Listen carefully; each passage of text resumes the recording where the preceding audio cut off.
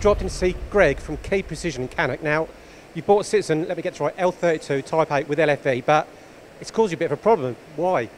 Uh, big problem is we can't get enough bars on it. Um, this particular component we've uh, we've started making. We used to do five at a time. With a few tweaks, we managed to get to 50, and now we can do 500 without you know lights out. So uh, the bar feed's running out before we have a chance to stop the machine. I mean, in respect, it's a great bar feed though, just to clarify that. Our brilliant bar feed, really robust. Yeah, say changes every time, which is what causes the problem. Right, so let's just have a look, quick look at this component. then. So what, what are you actually doing with it and how's it working? Uh, yeah, so this is a component which is a, it's a bearing retainer um, out of 7075 aluminium.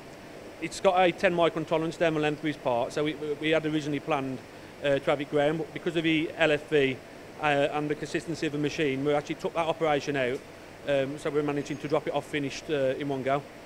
Right, so just clarify, 10 microns all the way down. 10 microns, yeah, down the diameter there, yeah.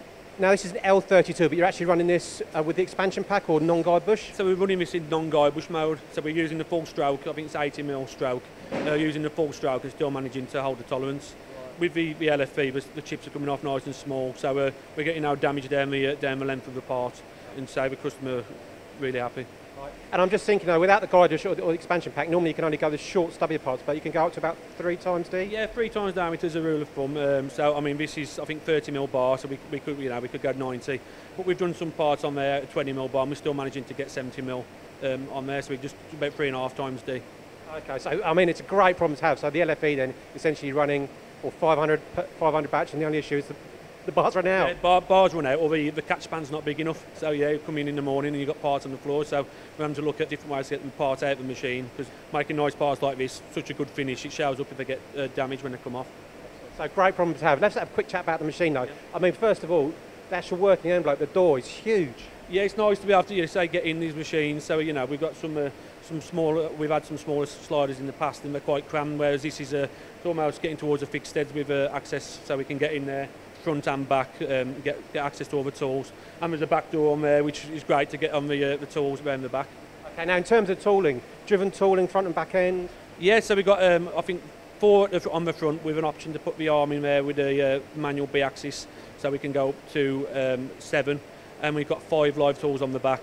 And then we've got the three uh, deep hole drilling tools next to the sub spindle to get a few extra tools in there. Okay, so it gives you that total flexibility in terms of man- parts you're manufacturing. Definitely, yes. Um, we, we used uh, on quite a few parts where you need a bit extra length on the drills. You can get in uh, next to your sub spindle, uh, providing you haven't got any clashes with your back working tools, but you can get quite deep. We've, we've drilled 180 mil on there. Impressive stuff. Now, when you say any clashes, does that tie in with the controls you're using as well? Uh, yeah, so basically you just have to watch the interference zones. So you, I mean, you can turn the interference zones off, uh, but obviously you've got to just be careful with the um, when your, sub spindle comes over to eject normally. Um, Now, you've got the Mitsubishi controls. I understand you're a big fan of them as well.